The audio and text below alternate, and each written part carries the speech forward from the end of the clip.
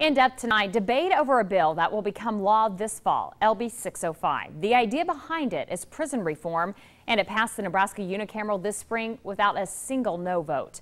As Brian Mastre reports, critics say there are all sorts of problems with it. Nebraska's prisons are overcrowded by more than 150 percent. The majority of lawmakers didn't want to build more prisons, so the new law would lessen the time inmates spent locked up for a number of crimes. The Council of State Governments helped draft the law, determining what the average amount of time was for a Nebraska crime and then moving the maximums to better reflect that number. They essentially took a whole class of felonies um, and essentially made them misdemeanors. And my fear is that there's going to be a, a um, sort of a domino effect that people that are charged with seemingly serious violent crimes will spend little to no time in prison only to get back out and reoffend. Did 605 go too far? No, I don't think so.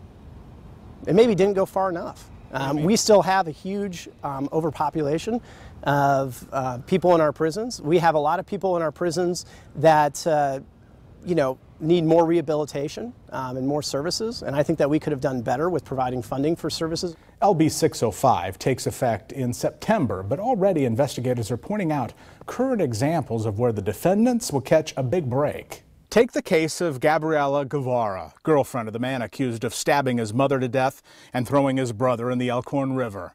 Guevara is accused of being an accessory to a felony. Detectives allege she got rid of evidence and tried to conceal blood at the crime scene. A conviction could give her 20 years in prison on one accessory charge.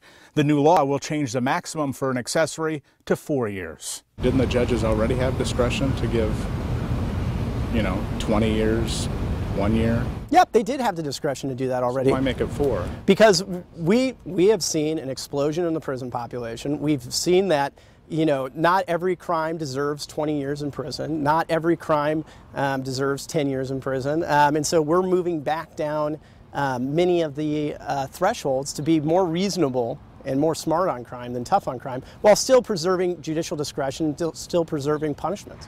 He also said the bill does something else for the first time. Few inmates will be able to jam out, meaning serve their time and then leave with no follow up. LB 605 guarantees most of them will be supervised when they get out.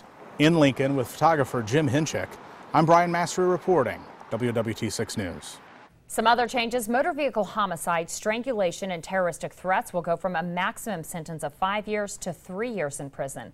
The police union notes with the good time law still in effect, the three year sentence is immediately cut in half.